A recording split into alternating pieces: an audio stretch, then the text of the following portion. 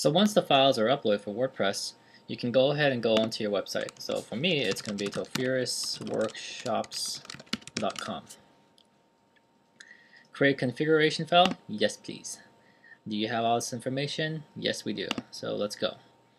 Database name, let's go back here. So under database name, we're going to copy Tofurio test1 and we're going to paste that in there. Username, we're going to delete that. Go into Bluehost, get this name, Tofurio underscore Lawrence without the E, paste that there. And my password, what I believe was password, with the capital P. Depending on your host, uh, most cases it's just localhost. But if you're using something like GoDaddy or something, you're going to have to use, um, it's a very long code. I, I don't actually know it because every single host is different, but it's a very long one. But generally speaking, by 8 out of 10 times, it's just localhost. Uh, leave the prefix table alone unless you're an advanced user. But for most cases, you don't need to do anything. And then click Submit. And then, alright Sparky, you've made this far. That's all we need to do, run the installation. And I'm not calling you Sparky, I'm reading it. WordPress actually says Sparky. So site title.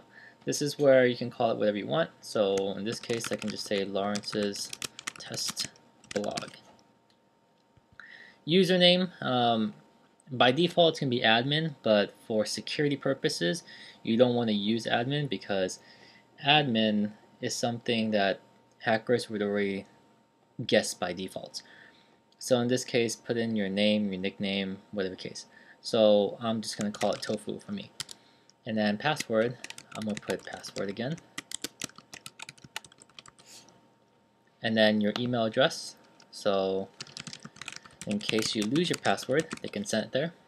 And then this box allow my site to be, you know, to appear in search engines like Google and Technorati.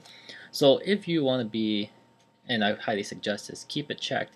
If you want to be found by Google through search engines, uh, keep that checked for sure, and then click Install WordPress. So, the username is Tofu, password is password. Let's log in. Tofu, password, log in, and we're in.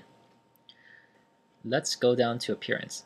Un right next to appearance on the left bar area you can click on themes I'm sorry hit the drop down and then go with themes and if you want to install your own which is what we're going to be doing install themes we're going to click the upload because we already have it. Let's browse for it on the desktop. Tofurio Story 2 open that install now. And it's going to upload file and it's going to extract it and then you're going to have to activate it so you can preview if you'd like but I know it's going to work so let's just click activate. So right there. Automatically with just one click let's reload the page and voila look. It's a whole new website. Okay now let's talk about the theme.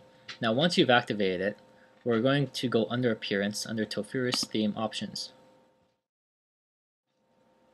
So right here we have the rotating images and you can set different orders by dragging and dropping.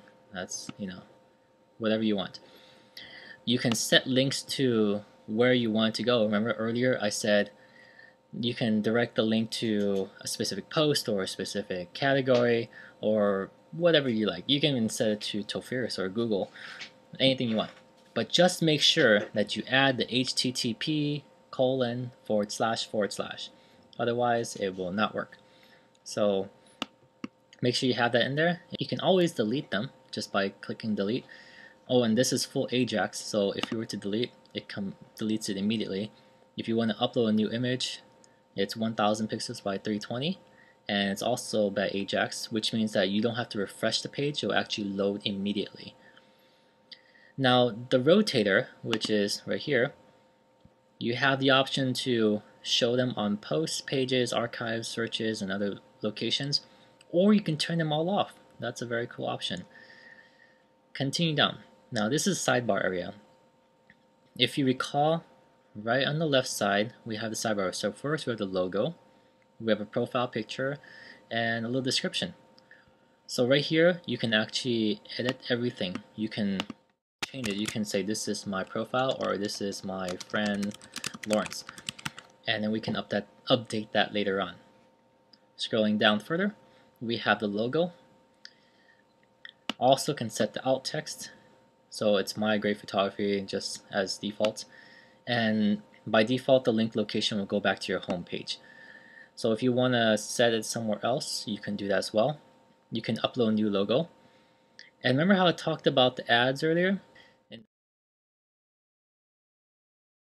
You can always turn it off. That's fine too. Anyway, continue on. Twitter. It currently goes to my account, twitter.com forward slash Tofurious, but you can change it to yours. This way, if they want to click on it, they can you know add you as a friend or follow you. But generally speaking, brides or even kids, they don't use Twitter. Um, from my studies, it's mostly through Facebook. So definitely to put in your Facebook. And this is one of the reasons why I took out the whole Twitter um, com or Twitter quotes in there because I actually found that a little bit distracting because it wasn't actually useful. So make sure you have your Facebook link. So if you have a fan page, go for it. But my opinion, use a personal site. Your RSS in case you want a different one. Now this is an actual live preview of the website. So this is really cool.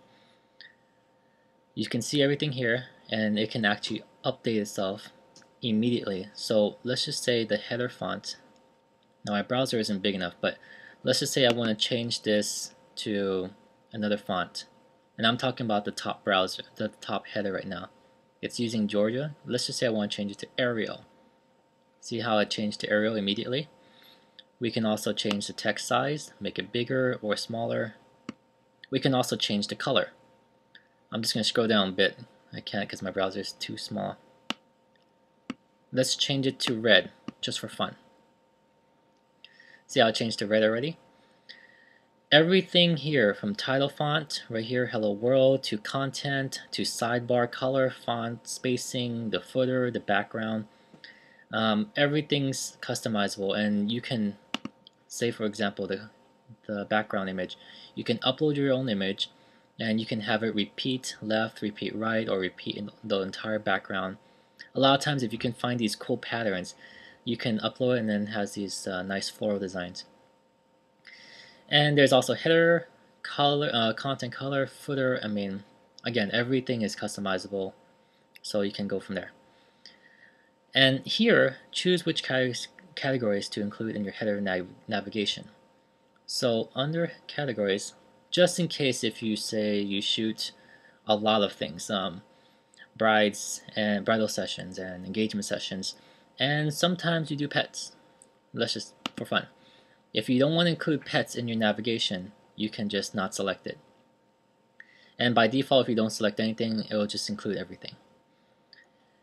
And under post footers, now it looks a little funny here, let me expand my browser. Okay, under post footers, this means right here, under the post, the footer. So currently we have view portfolio, contact me, and back to top.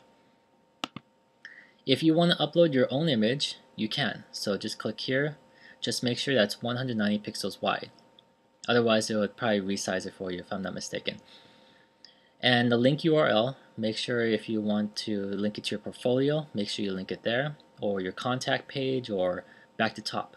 If you want back to top, it's the hashtag top, T-O-P. If you want to change it to say follow me on Twitter, you can do that too. Change it right there. Now post separators. Now if you recall earlier, this is the thing right here. It's going to separate every single post. So when you have a new post, there's going to be a new separator. This way it puts some space in between all this text and pictures. And you can upload your own, uh, 640 pixels wide. So make sure that your breaker is going to be 640 and as well as your images. Now this is your header and footer code. Now just in case if you have Google Analytics or some form of tracking you want to put in your header or your footer, this goes in here. You can just paste the code in there and then just click save.